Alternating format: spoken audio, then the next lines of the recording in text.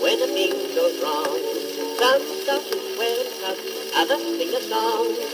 I don't do either, that's all my fool. When a thing goes wrong with me, this is what I do. I lift up my finger and I say, Me, me, shush, shush, nail, nail, dab, dab.